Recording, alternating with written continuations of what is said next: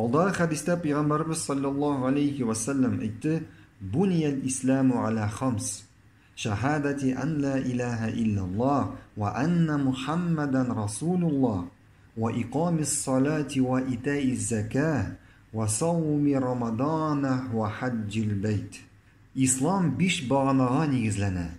Аллаһтан башка гыйбадәткә лаиклы зат булмау һәм Мухаммадның Аллаһның илчесе булуы Намазда булу, зәкәт түләү, Рамазан айында ураза тоту һәм Аллаһ йортына хаҗ кылу.